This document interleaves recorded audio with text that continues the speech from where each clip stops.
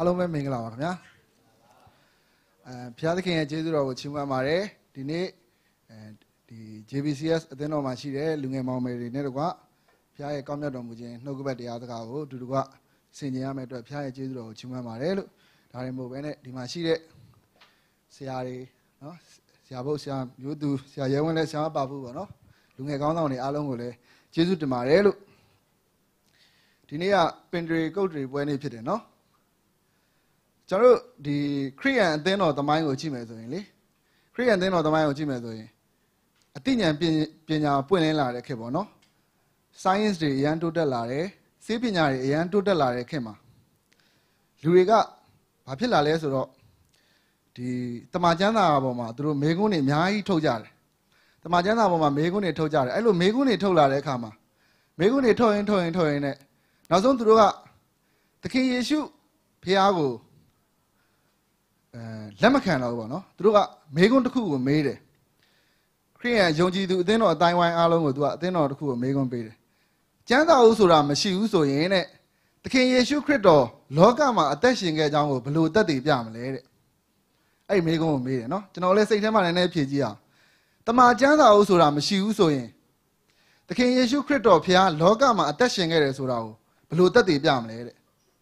နော်သူတို့ကတမန်ကျမ်းစာအုပ်ကိုမယုံတော့ဘူး တမန်ကျမ်းစာအုပ်ကိုမယုံတော့ဘူးသိပ္ပံပညာနဲ့ချိန်ထိုးပြီးဆုံးဖြတ်တယ်တမန်ကျမ်းစာရဲ့ဖြစ်ပေါ်လာပုံတွေကိုသူတို့ကအဲဝိုင်းဝန်းပြီးတော့ဝေဖန်တဲ့အခါမှာနောက်ဆုံးတမန်ကျမ်းစာအုပ်ကိုသူတို့ကလက်မခံတော့ဘူးတမန်ကျမ်းစာအုပ်ထဲမှာဖခင်ရဲ့ revelation ရှိတယ်ဆိုတော့သူတို့လက်မခံတော့ဘူးအဲ့ဒီခါမှာအဲ့ဒီမေးခွန်းကိုမေးလိုက်တဲ့ခါမှာဓမ္မမှုတော်ဆောင်တော်တော်များများရော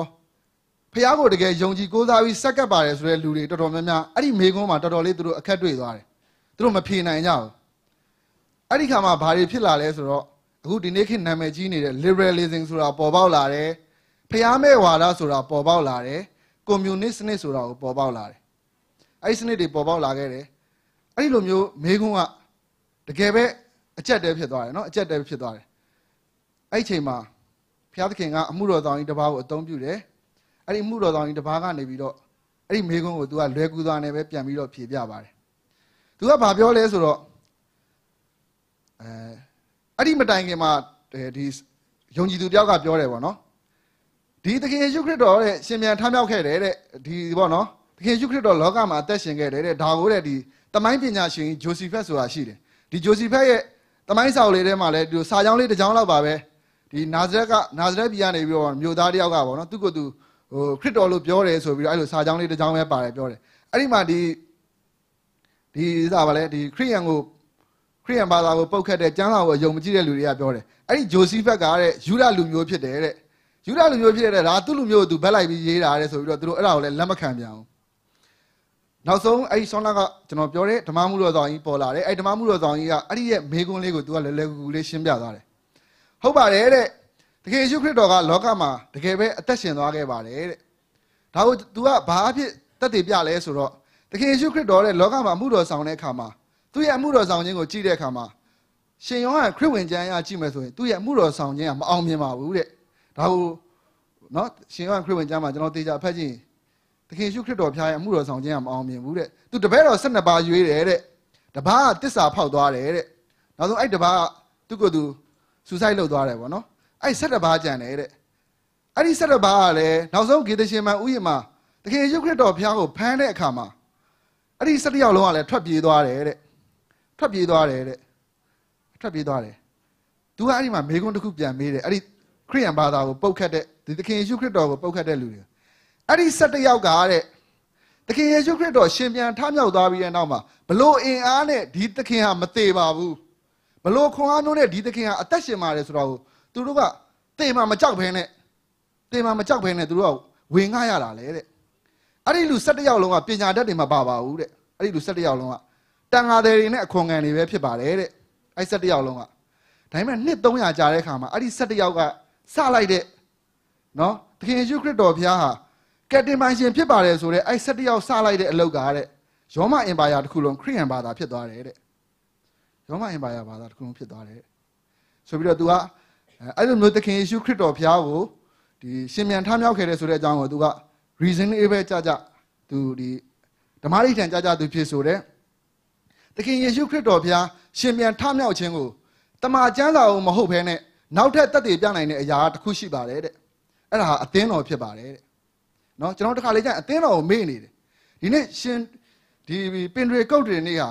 အသင်းတော်မွေးဖွားတဲ့နေ့တနည်းအားဖြင့်တကယ်ယေရှုခရစ်တော်ပြန်သွားတယ်တပည့်တော်တွေနော်ဆောင်းနာကဆရာမျိုးသူတရားဟောပြီးသွားပြီအယောက်120ဆုတောင်းနေတယ်တန်ရှင်းသောဝိညာဉ်တော်ဆင်းသက်လာတဲ့ခါမှာအသင်းတော်ဖြစ်သွားတယ်အဲ့ဒီအသင်းတော်ဟာ သခင်ယေရှုခရစ်တော်ရှင်ပြန်ထမြောက်ခဲ့တယ်ဆိုတာကိုတမန်ကျမ်းသာမရှိဘဲနဲ့ပေးနိုင်တဲ့ဒီပြောမယ်ဆိုတက်တေတစ်ခုဖြစ်တယ်နော်တက်တေတစ်ခုဖြစ်တယ်ဒါကြောင့်မလို့အသင်းတော်ဟာ witnessing community ဖြစ်တယ်တနည်းအားဖြင့်အသင်းတော်ဆိုတာတက်တေခံနေတဲ့ဒီအဝန်းဝိုင်းဖြစ်တယ်ဒါကြောင့်ဒီမှာရှိနေတဲ့ညီကိုမောင်နှမတွေအနေနဲ့ဒီနေ့အသင်းတော်ရဲ့အဝန်းဝိုင်းထဲမှာနေနေတာအခုဒီမှာလူငယ်တွေပြောတယ်ဘုရားရဲ့မျက်မှောက်တော်မှာနေတယ်ဘုရားကိုကိုးကွယ်တယ်နှုတ်ကပတ်တော်ကိုခံယူနေတယ်ဒါတွေနဲ့မလုံလောက်သေးပါဘူး ယနေ့ကျွန်တော်တို့ဒီဝန်းဝိုင်းထဲမှာရှိနေတဲ့လူတွေအားလုံးကသခင်ယေရှုခရစ်တော်ဘုရားရှင်ပြန်ထမြောက်တယ်ဆိုတာကိုကျွန်တော်တို့ကဝန်ခံနေတာဖြစ်တယ်။တနည်းအားဖြင့်ကျွန်တော်တို့ကမယုံကြည်သူတွေကိုကျွန်တော်တို့ကပြနေတာနော်။ယနေ့ဒီစင်ကာပူနိုင်ငံနိုဗီနာမှာနိုဗီနာမှာဒီဒီသွမ်ဆန်ပေါ့နော်သွမ်ဆန်အသင်းတော်ရှိနေတယ်။ဒါဟာဒီသွမ်ဆန်မှာရှိတဲ့လူတွေကသခင်ယေရှုခရစ်တော်ဘုရားရှင်ပြန်ထမြောက်ခဲ့ပါတယ်ဆိုတာကိုသူတို့ကသက်သေခံနေတာဖြစ်တယ် ဒီလိုပဲမြန်မာနိုင်ငံမှာဆိုလဲရန်ကုန်မှာအသင်းတော်တွေရှိတယ်ဆိုရင်ရန်ကုန်မြောက်ကလာပါမှာအသင်းတော်ရှိရင်အဲ့မြောက်ကလာပါမှာရှိတဲ့ယုံကြည်သူတွေကသခင်ယေရှုခရစ်တော်ဘုရားရှင်မြန်ထမြောက်ခဲ့တယ်ပါဆိုတော့ကိုတသက်ခံနေခြင်းဖြစ်တယ်။ဒါကြောင့်ဒီမှာရှိနေတဲ့ညီကိုမောင်နှမတွေအားလုံးကယခုအသင်းတော်မှာဒီမှာဒီနေ့လာရောက်ပြီးဘုရားကိုးကွယ်ခြင်းဟာကျွန်တော်တို့ဘုရားနဲ့အချိန်ယူခြင်းဖြစ်တယ်လို့မယုံကြည်သူတွေကိုကျွန်တော်တို့ကတသက်ခံနေခြင်းဖြစ်တယ်။သခင်ယေရှုခရစ်တော်ဘုရားလောကမှာအသက်ရှင်ခဲ့တယ်ဆိုတော့ကျွန်တော်တို့တသက်ခံနေခြင်းဖြစ်တယ်။ဒါကြောင့် Sunday မှာ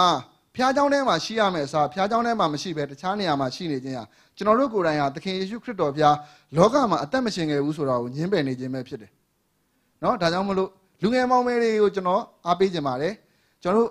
ဒီနိုင်ငံမှာတိုးတက်ရတိုးတက်ကြောင်လှုပ်ရှားရည်အများကြီးရှိပါတယ်။ဒါပေမဲ့ကျွန်တော်တို့သခင်ယေရှုခရစ်တော်ဘုရားကိုမငြင်းပယ်ကြမိဖို့အတွက်ကျွန်တော်ဥဒ္ဒါပထမဒီကလူငယ်တွေကိုအားပေးခြင်းပါတယ်လို့ဒါကြောင့်မလို့ဒီနေ့အသင်းတော်ရဲ့မွေးနေ့ဖြစ်တယ်။အသင်းတော်မှာကျွန်တော်တို့ပါဝင်ဆက်ကပ်ရမယ်။အသင်းတော်မှာကျွန်တော်တို့က ဖះကိုအားမပဲလာပြီးတော့ဆက်ကပ်မယ်ဆိုရင်ဖះကလည်းကျွန်တော်တို့အားမကောင်းကြီးပေးမယ်ဆိုရင်တော့မကောင်းဘူးเนาะဒါကြောင့်မလို့အားပေးခြင်းနဲ့ကျွန်တော်တို့ဒီနေ့ဒီမှာလာနေတာကကျွန်တော်တို့ဖះနဲ့ကိုးကွယ်နေခြင်းဖြစ်တယ်လို့တစ်ဖက်မှာကျွန်တော်တို့ကမယုံကြည်တွေကိုမယုံကြည်သူတွေကိုကျွန်တော်တို့တတ်သိခံနေခြင်းဖြစ်ပါတယ်လို့ကျွန်တော်တို့အားလုံးမမေ့မျောဖို့ကအသင်းတော်ဆိုတာ witnessing community ဖြစ်တယ်เนาะ witnessing community ဖြစ်တယ်ကျွန်တော်တို့ကတတ်သိခံနေတဲ့အဝန်းဝိုင်းဖြစ်ပါတယ်လို့အမေရိကန်သမ္မတလင်ကွန်းလက်ထက်မှာ အမေရိကန်သမ္မတလင်ကွန်းလက်ထက်မှာဒီကျွန်တော်တို့ဂျွန်စနစ်ကိုဖျက်သိမ်းဖို့အတွက်စစ်ပွဲတစ်ပွဲဖြစ်တယ်နော်အဲ့စစ်ပွဲပြည်တွင်းစစ်ပွဲဖြစ်တယ်အဲ့စစ်ပွဲရဲ့နာမည်က Blue and Gray လို့ခေါ်တယ်နော် Blue and ဂျွန်စနစ်ဖျက်သိမ်းလိုက်တယ်ဆိုရင်တော့လူတိုင်းသိပါတယ်အမေရိကန်သမ္မတလင်ကွန်းကိုတော့ဒီကလူငယ်တွေသိမှာပါအဲ့လိုပြည်တွင်းစစ်ဖြစ်တဲ့အခါမှာသတင်းတောက်တယောက်ကအမေရိကန်သမ္မတလင်ကွန်းကိုမေးခွန်းတစ်ခုမေးတယ်အမေရိကန်သမ္မတလင်ကွန်းမေးခွန်းတစ်ခုမေးတယ်ဒီစစ်ပွဲကဘယ်ဘယ်ဘက်ကနိုင်မလဲပေါ့နော်နိုင်ငံကတောင်ထဲမြောက်စစ်ဖြစ်နေတာ ဘယ်ဘက်ကနိုင်မလဲဆိုပြီးတော့ဒီမေးတဲ့အခါမှာအမေရိကန်သမ္မတလင်ကွန်းကအဲ့သတင်းတော်မေးတဲ့မေးခွန်းကသူကဘယ်လိုပြန်ဖြေလဲဆိုတော့ဘုရားသခင်ကလူတိုင်းနဲ့ရှိပါတယ်တဲ့ဘုရားသခင်ကလူတိုင်းနဲ့ရှိပါတယ်တဲ့ဒါပေမဲ့ဘုရားသခင်နဲ့အလုပ်လုပ်တဲ့သူကအောင်မြင်မယ်တဲ့နော်အမေရိကန်သမ္မတလင်ကွန်းအဲ့အဲ့ဒီစကားကကျွန်တော်ဝิญဉ်ရေးကတက်တက်တာကိုကျွန်တော်တိဆောက်တဲ့ခါမှာအဲ့စကားကိုကျွန်တော်ပြန်ပြန်ပြီးတစ်ခါတလေစဉ်းစားတယ်နော်ကျွန်တော်စဉ်းစားတယ်ပေါ့နော်အမေရိကန်သမ္မတလင်ကွန်းက ဘုရားသခင်ကလူတိုင်းနဲ့ရှိတယ်တဲ့ဘုရားသခင်ကလူတိုင်းနဲ့ရှိတယ်ဒါပေမဲ့ဘုရားသခင်နဲ့အလုပ်လုပ်တဲ့သူပဲအောင်မြင်မယ်တဲ့သူပြောတဲ့အခါမှာနောက်ဆုံးအဲ့ဒီစစ်ပွဲနော်ဒီသမ္မတလင်ကွန်ဘက်ကအောင်မြင်တယ်ကမ္ဘာမှာကျွန်စနစ်အမေရိကမှာကျွန်စနစ်ပြတ်သိမ်းသွားတယ်နော်ကျွန်စနစ်ပြတ်သိမ်းသွားတယ်ညာစွာသောခရိယန်တွေကပြောကြတယ်ဗျကျွန်တော်တို့ကဘုရားသခင်အတွက်လုပ်မယ်ဘုရားသခင်အတွက်လုပ်မယ်ဒါပေမဲ့ဒီခါလေးကျရင်ကျွန်တော်တို့ကဘုရားနဲ့တော့အလုံးမလုပ်ကြဘူးဗျ ဖះနဲ့တော့အလုံးမလုပ်ကြဖះသခင်အတွက်အလုံးလုံးမယ်လို့တော့ပြောတယ်ဖះနဲ့တော့အလုံးမလုပ်ကြဘူးဒါကြောင့်တမန်ကျမ်းစာထဲမှာဘယ်လိုဖော်ပြထားလဲဆိုတော့ခေါ်တော်မူသောသူကအများကြီးရှိပါတယ်တဲ့ရွေးကောက်တော်သူတော်မူတော့မူကလည်းရွေးကောက်တဲ့သူကလည်းများပါတယ်တဲ့ဒါပေမဲ့တစ္ဆာရှိတဲ့သူကနည်းတယ်လို့ပြောတယ်တစ္ဆာရှိတဲ့သူကနည်းတယ်တစ္ဆာရှိတဲ့သူကနည်းတယ်เนาะဒါကြောင့်မလို့ဒီနေ့ဒီမှာရှိတဲ့ညီကိုမောင်နှမတွေကိုအားပေးနေတာကကျွန်တော်တို့ကလူငယ်မောင်မယ်တွေဖြစ်တယ် ဘဝကိုအညွတ်တလူလူနဲ့တက်ချင်တဲ့လူတွေဖြစ်တယ်အောင်မြင်ချင်တဲ့လူတွေဖြစ်တယ်အရန်ကောင်းပါတယ်ဖះအတွက်လှုပ်လှုပ်ချင်စိတ်ရှိတာအရန်ကောင်းပါတယ်ဒါပေမဲ့ကျွန်တော်တို့ဖះနဲ့တော့အလုပ်လုပ်တတ်ဖို့လိုပါတယ်ဒီနေ့မနေ့ဆရာမျိုးသူပြောသွားတယ်အထဲမှာတန်ရှင်းသောဝိညာဉ်တော်မရှိဘဲနဲ့သခင်ယေရှုခရစ်တော်ဖျားကိုဝင်မခံနိုင်ဟိုကယ်တင်ပိုင်ရှင်ဖြစ်တယ်ဆိုတော့ဝင်မခံနိုင်ဘူးပေါ့နော်ဖျားကကျွန်တော်တို့ ਨੇ အမြဲတမ်းအထဲထဲမှာရှိနေတယ်ပြဿနာကကျွန်တော်တို့ကဖျားနဲ့အလုံးမလုံးတဲ့ပြဿနာဗျနော် ပြဿနာကကျွန်တော်ဖျားနဲ့လုံးလုံးမလုံးတဲ့ပြဿနာ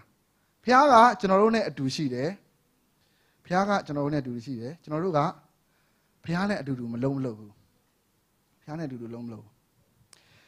ကျွန်တော်နှုတ်ကပတ်တမန်ကျမ်းစာထဲမှာကြည့်တဲ့အခါမှာဖျားအတွက်လှုပ်လှုပ်တဲ့သူတွေအများကြီးရှိခဲ့တယ်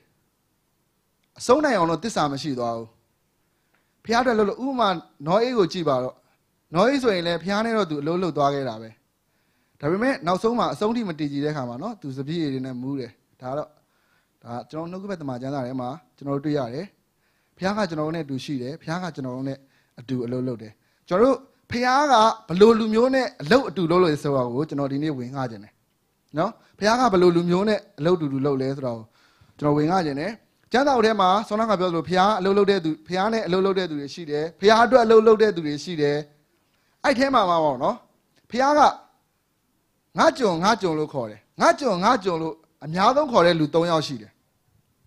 ငါကြုံငါကြုံဆိုပြီးတော့ခေါ်တဲ့လူလေအဲ့ဒီ၃ယောက်ကဘာတူလဲဆိုတော့ယာကုပ်ရဲ့ငါကြုံယာကုပ်ငါကျွန်ဣသရေလနော်ယာကုပ်ကိုခေါ်တယ်နောက်ငါကျွန်မောရှေဆိုပြီးတော့သုံးလုံးတယ်နောက်ငါကျွန်ဒါဝိဒ်ဆိုပြီးတော့သုံးလုံးတယ်ဒီပုဂ္ဂိုလ်၃ယောက်ကိုဖခင်ကငါကျွန်ငါကျွန်ဆိုပြီးတော့ဒီသုံးလုံးပြီးတော့ဗောနော်ဖခင်ကအရန်သူတို့ကိုဟိုကြိုက်တယ် တမန်ကျမ်းစာထဲမှာဆိုရင်နော်အေးတော့မုန်းနေတဲ့ငါယာကုပ်ကိုချစ်တယ်လို့ဖော်ပြထားတယ်မောရှေကိုဆိုရင်လည်းပြောတယ်မောရှေရတဲ့မြေကြီးပေါ်မှာနော်မြေကြီးပေါ်မှာရှိတဲ့သူတွေအားလုံးထဲမှာအလွန်ပဲနော်တာရဲ့နူးညံ့တိမ်မွေးတဲ့သဘောရှိတယ်ဆိုပြီးတော့ तू ကမောရှေကိုပြောတယ်မောရှေကိုပြောတယ်ဒီလိုပဲဒါဝိဒ်ကိုလည်းဗာပြောတယ်ဆိုတော့ဒါဝိဒ်ကိုစိတ်တော်နဲ့တွေ့တယ်ဆိုပြီးတော့ပြောတယ်နော်နှုတ်ကပတ်တမန်ကျမ်းစာထဲမှာနှုတ်ကပတ်တမန်ကျမ်းစာထဲဖခင်ကသူတို့ကိုအဲ့လိုမြင်တယ်ဒါပေမဲ့ကျွန်တော်တို့ opposite eye ကပြန်ကြည့်မယ် စန့်ကျင်ဘက်အမြင်ကနေကျွန်တော်တို့ပြန်ကြည့်မယ်တကယ်တော့ယာကုပ်ကလူလိန်တယောက်ပဲဗျဖခင်သခင်ကလူလိန်တယောက်ကိုချစ်တာလားနော်ဖျားသခင်ကလူသက်သမားကိုချစ်တာလားလူသက်သမားကိုမြေကြီးပေါ်မှာရှိသောသူအပေါင်းတို့ထက်တာ၍နူးညံ့တိမ်မွေ့သောစိတ်တဘောရှိတယ်တဲ့အဲ့စကားကဒီမြေကြီးမကုံမဆုံးခြင်းအတီပဲနော်ဒီမြေကြီးမကုံမဆုံးခြင်းအတီအတီပဲ တာ၍နူးညံ့တိမ်မွေ့တဲ့စိတ်တဘောရှိတယ်လူသက်သမားကြီးကိုဗျာဖះကပြောတာစဉ်းစားကြည့်ကြပါဦးဒီထဲမှာကနောက်တယောက်ကနော်မရင်းကောင်ကြီးလူများကသားသမီးကိုဗျာပြစ်မာတဲ့လူကြီးနော်လူများမရကိုပြစ်မာတဲ့လူကြီးကိုဘုရားကစိတ်တော်နဲ့တွေ့တယ်တဲ့ကျွန်တော်တော်တော်စဉ်းစားကြဖြစ်သွားတယ်နော်ဒါကျွန်တော်တို့ကျွန်တော်တို့ဒီလူကြီးတွေကိုကျွန်တော်တို့ကအမြဲတမ်းဒါလူကောင်းကြီးတွေလို့ကျွန်တော်တို့ကမြင်ခဲ့တာဒါပေမဲ့ဘာလို့လဲဆိုတော့ကျွန်တော်တို့ကကျမ်းစာအုပ်ထဲမှာကျွန်တော်တို့ကယုံကြည်ခြင်းရှုထောင့်နဲ့ကြည့်တာပေါ့နော် ဒါပေမဲ့ကျွန်တော်တို့ဒါတစ်ဖက်ကအမြင်နဲ့ပေါ့ဒါပေမဲ့ကျွန်တော်ဒီနေ့ဒီလူ၃ယောက်ထဲမှာမှာကျွန်တော်မောချေတယောက်အကြောင်းပဲပြောပါမယ်၃ယောက်အကြောင်းပြောရင်ကျွန်တော်ဟိုမှာဗာလဲ global မှာ prayer meeting လာသွားရမယ်နော်အဲကြောင့်ကျွန်တော်ဒီနေ့မောရှေအကြောင်းကိုပဲကျွန်တော်ဝေငှကြပါတယ်ကျွန်တော်ဒီယေရမိအနာဂတ်ကျမ်းအခန်းကြီး16အငယ်30မှာဘုရားကဗာပြောလဲဆိုတော့စိတ်နှလုံးကတဲ့အလွန်ကောက်ကျစ်တတ်တဲ့စိတ်သဘောရှိတယ်တဲ့စိတ်နှလုံးကအလွန်ကောက်ကျစ်တတ်တဲ့စိတ်သဘောရှိတယ်တဲ့ဒါကြောင့်မလို့ငါထာဝရဘုရားသခင်ကတဲ့ လူရဲ့စိတ်နှလုံးကိုကြည့်ပြီးတော့အလုံးလုံးတဲ့ဘုရားဖြစ်တယ်တဲ့နော်ဘုရားကအဲ့လိုပြောတယ်နော်ဘုရားကလူရဲ့စိတ်နှလုံးကိုငါကြည့်ပြီးတော့လှုပ်လှုပ်တဲ့ဘုရားဖြစ်တယ်လေကျွန်တော်ဥပမာတစ်ခုပေးမယ်ပေါ့ဗျာကျွန်တော်ကိုဆရာမျိုးသူကဟောတော့ရေမင်းဒီဒီခုံကိုမင်းဟိုဘက်ကိုသွားရွှေ့လိုက်ဆိုရင်ကျွန်တော်အဲ့ခုံကိုယူပြီးကျွန်တော်ဟိုဘက်မှာသွားရွှေ့လိုက်မယ်အဲ့လိုသွားရွှေ့လိုက်ရင်ဆရာမျိုးသူခိုင်းတဲ့အတိုင်းကျွန်တော်လုပ်တယ်ကျွန်တော် performance ကောင်းတယ်ဘုရားသခင်ကလည်းကျွန်တော်ကိုပြောမယ် တော့ကမင်းအဲ့ဒီခုံလေးကိုယူပြီးဟိုဘက်ကိုသွားရွှေ့လိုက်ကျွန်တော်ယူပြီးရွှေ့လိုက်မယ်ယူပြီးရွှေ့လိုက်မယ်ကျွန်တော်အလုပ်ပြီးသွားတယ်ကျွန်တော် performance ကကောင်းရင်ကောင်းမယ်ဒါပေမဲ့ကျွန်တော် attitude ကိုဖះအကြည့်တာမင်းဘယ်လိုစိတ်သဘောနဲ့ဖះကိုကိုးကွယ်နေရလဲကိုကြည့်တာမင်းဘယ်လိုစိတ်သဘောနဲ့ဖះအတွက်အလုံးလုံးနေလဲကိုကြည့်တာမင်းဘယ်လိုစိတ်သဘောနဲ့ဖះနဲ့အလုံးလုံးနေလဲကိုကြည့်တာဒါကြောင့်မလို့ယေရမိအနာဂတ်ကျမ်းအခန်းကြီး16ငယ်30မှာဖះကပြောတယ်ကျွန်တော်တို့ကိုနော်မင်းတို့ရဲ့ performance တဲ့ မင်းတို့ရဲ့လှုပ်ဆောင်နေမှုတွေထက်မင်းတို့ရဲ့စိတ်သဘောကိုငါကြည့်တဲ့ဖះဖြစ်တယ်နော်ကျွန်တော်တို့လှုပ်ထဲမှာတစ်ခါလေကြာရင်ဒီမှာအခုလှုပ်လှုပ်နေတဲ့လူတွေတချို့ကိုယ့်ရဲ့အထက်ကလူကခိုင်းတယ်သူ့ကိုတော့ကျင်တဲ့ချိန်မှာကျင်နေမယ်ဒါပေမဲ့ तू ခိုင်းတဲ့လုပ်ကိုကျွန်တော်တို့ကပြီးအောင်လုပ်ရတယ်အဲ့ဒါ performance တော့ကောင်းတယ် attitude မကောင်းဘူးဒါပေမဲ့ဘုရားသခင်က performance ကိုလည်းကြည့်တယ် attitude ကိုလည်းကြည့်တယ်နော်အလုပ်လည်းပြီးရမယ်မင်းကတကယ်ပဲဘုရားအတွက်အလုပ်လုပ်ချင်သေးရှိလားဘုရားနဲ့တကယ်လုပ်လုပ်ချင်သေးရှိလားဆိုတော့ဒါကိုလည်းကြည့်တယ်ဘုရားဖြစ်တယ်ဒါကိုလည်း ကြည့်တယ်ဘုရားဖြစ်တယ်ဗောနော်ဒါကြောင့်မလို့ဘုရားကဒီလူ၃ယောက်လုံးကိုယာကုပ်ကိုချစ်တယ်လို့ပြောတာယာကုပ်ရဲ့ attitude မောရှေဟာမြေကြီးပေါ်မှာရှိတဲ့သူတွေအားလုံးထက်အလွန်နူးညံ့သိမ်မွေ့သောသဘောရှိတယ်လို့ပြောခြင်းဟာမောရှေရဲ့ဒီဖះနဲ့အတူအလုံးလုံးတဲ့စိတ်သဘောထားယာကုပ်လည်းထုံဒီ၎င်းပေါ့နော်ကျွန်တော်တို့ဒီမှာရှိတဲ့အဲညီကိုတွေကိုညီကိုမောင်နှမအားလုံးကိုမေတ္တာရက်ခံနေတယ်ပေါ့နော်ကျွန်တော် ကျမ်းစာပြန်ဖတ်ပေးဖို့ပေါ့နော်တောလျာကျမ်းအခန်းကြီး7ကိုဒီမှာရှိတဲ့ညီကိုမောင်နှမတွေအားလုံးဒီတစ်ပတ်ထဲမှာဖတ်ပေးပါနော်ကျမ်းစာလေးဖတ်ပေးဖို့ကျွန်တော်မေတ္တာရက်ခံတယ်ကျွန်တော်တောလျာကျမ်းအခန်းကြီး7မှာကြည့်တဲ့အခါမှာမောရှေကိုဘုရားသခင်ကဒီဘာကြောင့်သူ့ကိုနူးညံ့တိမ်မွေးတဲ့သူဖြစ်တယ်ဆိုတာကိုဘာကြောင့်ပြောရလဲဆိုတာကိုကျွန်တော်ပြောပြခြင်းတယ်နော်တောလျာကျမ်းအခန်းကြီး7အငယ်3မှာမောရှေသည်မြေကြီးပေါ်မှာရှိသောသူအပေါင်းတို့ထက်တာ၍နူးညံ့သော နူးညံ့တိမ်မွေ့သောစိတ်တော်ရှိတယ်ဆိုပြီးတော့ပြောထားတာတွေ့ရတယ်နော်ဒီလိုပဲရှင်မသက်ခရစ်ဝင်ကျမ်းအခန်းကြီး7အငယ်29မှာလဲသခင်ယေရှုခရစ်တော်ဘုရားကဘာပြောလဲဆိုတော့ငါထံဖို့ကထမ်းလွယ်ပါတယ်တဲ့ငါထံသို့လာပါငါရဲ့ထမ်းဖို့ကထမ်းလွယ်ပါတယ်တဲ့ငါသည်အလွန်နူးညံ့တိမ်မွေ့နှိမ့်ချသောစိတ်တော်ရှိတယ်ဆိုပြီးတော့သခင်ယေရှုခရစ်တော်ကလည်းသူ့ကိုယ်သူပြောရဲနော်သခင်ယေရှုခရစ်တော်ကငါအလွန်ပဲနူးညံ့တိမ်မွေ့တဲ့စိတ်တော်ရှိပါတယ်ဒီလိုပဲမောရှေကလည်းအလွန်နူးညံ့တိမ်မွေ့တဲ့စိတ်တော်ရှိပါတယ်တဲ့ တကယ်ယေရှုခရစ်တော်ကသူ့ကိုယ်သူအရန်သူနူးညံ့တိမ်မွေ့တဲ့စိတ်တော်ရှိတဲ့သူလို့ပြောတယ်နော်ကျိုးသေးသေးလေးတွေကြစ်ပြီးတော့ဘာဖြစ်လို့ရုံရင်ဆန်ခတ်ဗိမ္မာန်တော်ထဲမှာဒေါသထွက်ပြီးဝင်ရိုက်ရတာလဲကျောင်းနည်းနည်းလေးပြန်စဉ်းစားအောင်နော်ကျိုးသေးသေးလေးတွေကြစ်ပြီးပြားဗိမ္မာန်တော်မှာလူတွေကိုဝင်ရိုက်တာနော်ဝင်ရိုက်တာဒီလိုပဲမောရှေကလည်းဣသရေလလူမျိုးတွေနော်ဖះကိုအမျိုးမျိုးပုံကန်တဲ့ခါမှာ तू ဒေါသထွက်တယ် သူဒေါသထွက်တယ်သခင်ယေရှုခရစ်တော်ဘုရားကကြိုးသေးသေးလေးတွေရစ်ပြီးရိုက်ရတဲ့အကြောင်းအချက်ကငါအဖရဲ့အိမ်ကိုဓမြတွင်ကဲသို့မှတ်တယ်လို့နော်သူပြောပြီးတော့သူရိုက်တယ်နော်သခင်ယေရှုခရစ်တော်ဘုရားကလောကလူသားတွေအားလုံးကိုကယ်တင်ဖို့လာပေမဲ့အဲ့ဒီလောကလူသားတွေကိုရိုက်တယ်။ဘာကြောင့်လဲဆိုရင်ဖះကိုစော်ကားတဲ့အပြုမှုကိုပြုတဲ့လူကိုဆိုရင်ဖះကရိုက်ပါတယ်။ဖះရိုက်ရင်တော့ဆေးလူလို့မပြောက်ဘူးဗျ။ ကျွန်တော်တို့ကခံမှုတယ်။နော်ဒါကြောင့်မလို့ဖះအရိုက်မခံအောင်တော့နေကြ။ဖះကိုစော်ကားတဲ့လူကိုဆိုရင်ဖះသခင်ယေရှုခရစ်တော်ဖះကရိုက်တယ်။ဘာကြောင့်လဲဆိုတော့ तू ကလူထက်ဖះကိုပိုချစ်လို့ဖြစ်တယ်။နော်လူထက်ဖះကိုပိုချစ်လို့ဖြစ်တယ်။ဒီလိုပဲမောရှေကမောရှေကဣသရေလလူမျိုးတွေကိုစိတ်တူတာသူ့ကိုပုံကန်လို့မဟုတ်ဘူးသူတို့ကိုကယ်ထုတ်လာတဲ့ဖရားကိုပုံကန်တဲ့အတွက်ကြောင့်မို့လို့နော်သူတို့ကိုကယ်ထုတ်လာတဲ့ဖရားကိုစန့်ကျင်တဲ့အတွက်ကြောင့်မို့လို့ ဒီလူတွေကိုဒေါသထွက်ခြင်းဖြစ်တယ်ဒေါသထွက်ခြင်းဖြစ်တယ်ဒါဒီခုတောလိုက်ရကြံခန်းကြီး7မှာတွေ့ရတယ်တောလိုက်ရကြံဒီခန်းကြီး7မှာနော်ဒီမောရှေကမောရှေကဒီ तू ကဣသရေလအမျိုးသမီးနဲ့ तू ကလက်ထက်တာမဟုတ်ဘူးဒီကုရှာအမျိုးသမီးနဲ့လက်ထက်တာဖြစ်တဲ့အတွက်ကြောင့်မလို့သူကတပားမျိုးသမီးနဲ့လက်ထက်တယ်ဒီလိုလက်ထက်တဲ့အတွက်ကြောင့်မလို့သူ့ကိုဒီမီရီအန်နဲ့အာယုန်နဲ့ကနေပြီးတော့သူ့ကိုအပြစ်ပြောတယ် နော်ဒီလိုတပားမျိုးသားနဲ့လက်ထက်တဲ့လူကိုပဲဘုရားသခင်ကဗျာဒိတ်ယူပါယုံပေးပြီးအလုံးလုံးမှာလားငါတို့ကိုလည်းအလုံးမလုံးဘူးလားဆိုပြီးတော့မောရှိကိုအဲ့တိုင်းပြောတယ်နော်မောရှိကိုအဲ့တိုင်းပြောတယ်အရန်ဒေါသထွက်တဲ့ကောင်ကြီးရဗျာအဲ့မှာဘာမှပြန်မပြောဘူးသိလားရေကုန်နှုတ်ဘိတ်ကိုနေလို့အဲ့ဒီချိန်မှာဘုရားသခင်ကသူစကားမပြောတဲ့အခါမှာဘုရားကစကားပြောတယ်ဘုရားကစကားပြောတယ်မောရှိရတဲ့မြေကြီးပေါ်မှာရှိတဲ့သူအပေါင်းတွေထက်နူးညံ့တိမ်မွေးတဲ့စိတ်သဘောရှိတယ်တဲ့အဲ့ဒီမှာကဲဟုတ်ပြီမင်းတို့အားလုံးပြိသက်စီဝေးရတဲတော် ပြိသက်တွေစီဝေးတဲတော်ချင်းမှာစီဝေးပြီးတဲ့အခါမှာဘာပြောလဲဆိုတော့နော်ဘုရားကငါအိမ်တော်တိမ်လုံးမှာတဲ့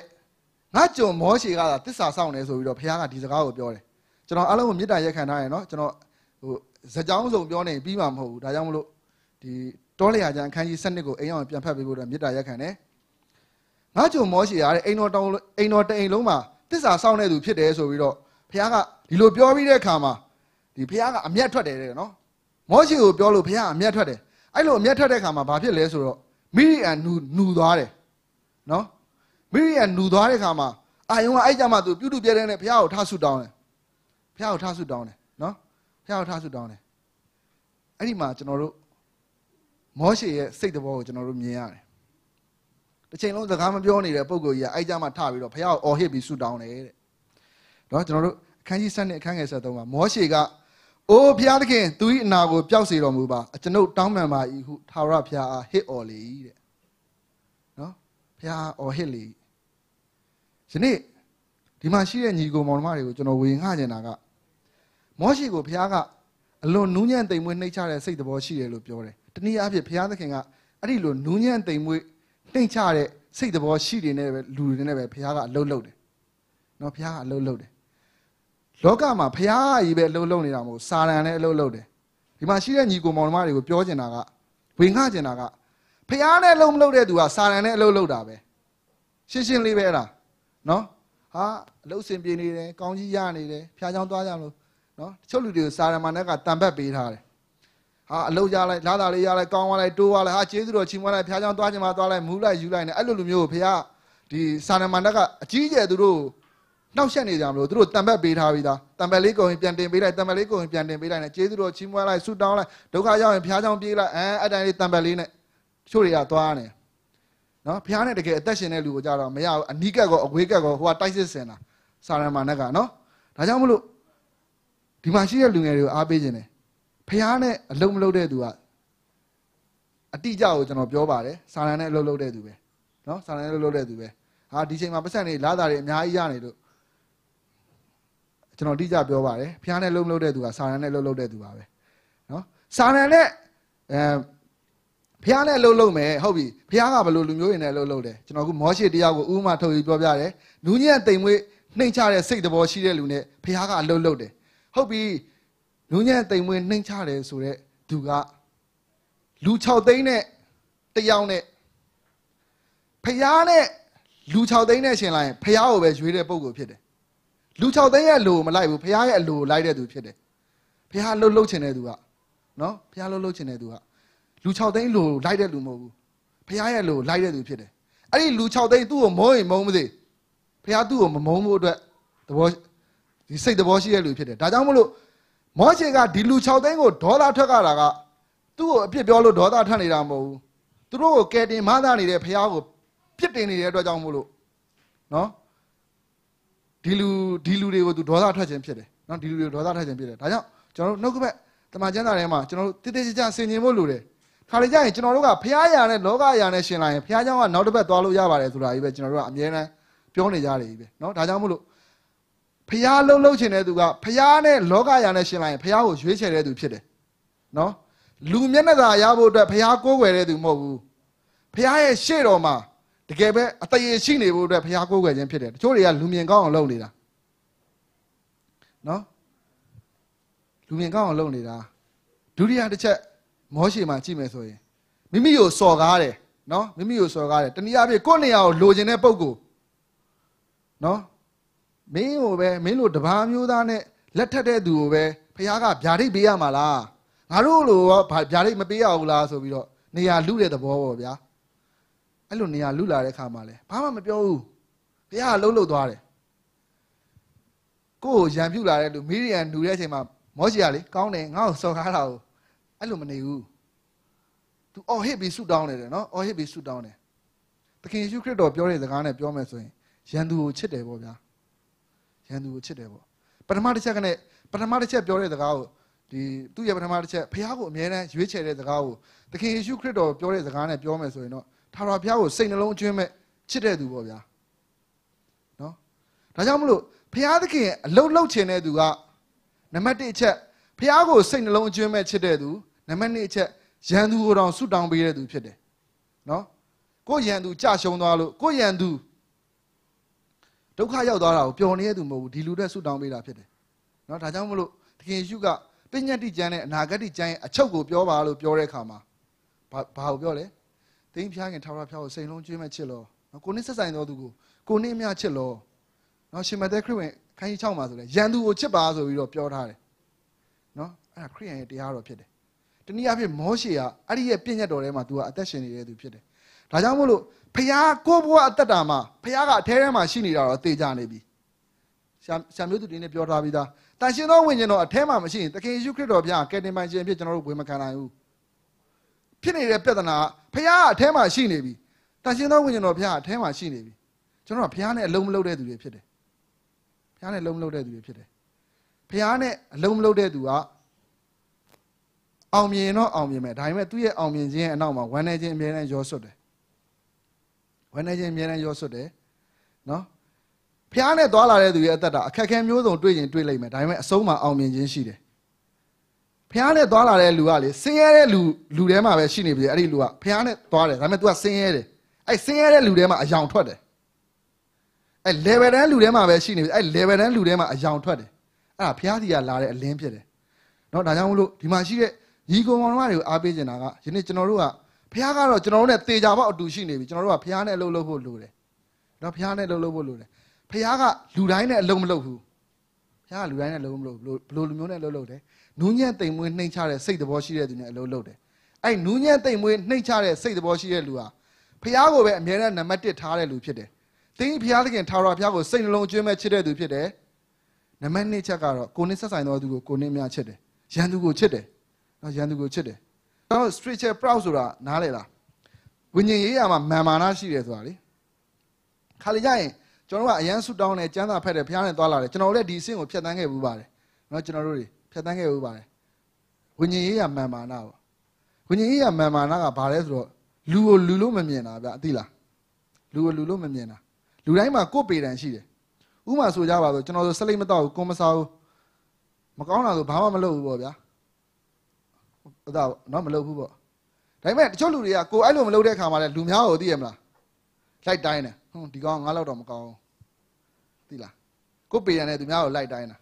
ငါလောက်တော့ကြမ်းတာမဖက်ဘူးငါလောက်တော့စုမတောင်းနော်ကိုပေရန်နဲ့သူများကိုလိုက်မတိုင်းရအောင်လူကိုလူလို့မြင်ရမယ်မောရှိကအဲ့ဒီအမြင်ရှိတယ်နော်ဒီဖမက်ကတရားဟောရကြအခန်းကြီး9မှာဣသရေလလူမျိုးတွေကိုဘုရားသခင်ကခါနန်ပြည်ထဲကိုဝင်ဖို့အတွက်စစ်တိုက်ခိုင်းတဲ့ခါမှာလေ ဣသရေလလူမျိုးတွေကကြောက်တယ်သိလားဟာဟာမအရက်ကြီးမြင့်ပါတယ်အကောင်ကြီးပါတယ်ဆိုပြီးတော့ကြောက်ပြီးတော့မဝင်ရတဲ့ဖះကဒေါသထွက်တယ်အဲ့ဒီလူတွေအကုန်လုံးအဲ့မှာတခါတည်းတတ်မလို့ဖះကတကယ်စိတ်တူပြီးတော့အဲ့ချိန်မှာမောရှိကအရက်40တိတိတဲ့အစာမစားဘဲနဲ့ဘုရားသခင်ရှေ့မှာပြက်ဝတ်ပြီးတော့သူဘုရားကိုတောင်းပန်တယ်ဘုရားကိုတောင်းပန်တယ်နော်ဘုရားကိုတောင်းပန်တယ်ဒါကြောင့်မလို့ဒီစိတ်သဘောထားပေါ့ဒီစိတ်သဘောထားဒီကိုကဒီလိုလုံနိုင်တယ်သူကအဲ့လိုမလုံနိုင်သေးဘူးဆိုအဲ့ပေရန်နဲ့သွားမတိုင်းနဲ့သူ့ကိုကျွန်တော်ဆူတောင်းပေးရမယ် နော်သူ့ကိုဆူတောင်းပေးရမယ်ဖြစ်နေတဲ့ပြဿနာကကျွန်တော်တို့ကဗာလေပေရန်နဲ့သွားတိုင်းပြီးဒီကောင်ငါးလောက်တော့မကောင်းအဲဒီကောင်ကဘာမှလည်းမလုပ်တတ်ဘူးအဲ့ပေရန်နဲ့မတိုင်းပါနဲ့ကျွန်တော်ဆူတောင်းပေးရမယ်နော်အဲ့လိုလူမျိုးတွေအတွက်ဆူတောင်းပေးရမယ်ကျေးဇူးတင်ပါတယ်ကျွန်တော်အားလုံးခဏဆူတောင်းခဏဆူတောင်းအောင်နော်အဖထာဝရမြတ်စွာဘုရားကျေးဇူးတော်ကြီးပါ၏လို့ဝန်ခံပါတယ်ယနေ့သားသမီးတို့ရဲ့ဘဝအသက်တာမှာ ဖဖျားရဲ့သွန်သင်တော်မူခြင်းလမ်းပြတော်မူခြင်းအမှုရာအတွက်ကျေးဇူးတင်ပါတယ်ယနေ့ကြားနာရတဲ့တရားစကားဤသားသမီးတီးတီးရဲ့စိတ်နှလုံးသားမှာတိဆောက်ရှာဖို့လိုက်လျှောက်ရှာဖို့ဖြစ်စေတော်မူပါအထူးသဖြင့်ဤသားသမီးတွေရဲ့အသက်တာပြောင်းလဲဖို့တဲ့အဖရဲ့နှုတ်ကပတ်တော်အဖေသာသူတို့ကိုဆက်လက်ရေးစကားပြောတော်မူပါကျေးဇူးတော်ပေါင်းကိုချီးမွမ်း၍ခရစ်တော်ယေရှုဖျား၏နာမကိုမြှုပ်ပြီးစက္ကန့်နဲ့ဆုတောင်းပါတယ်ဖာအာမင် thank you ပါ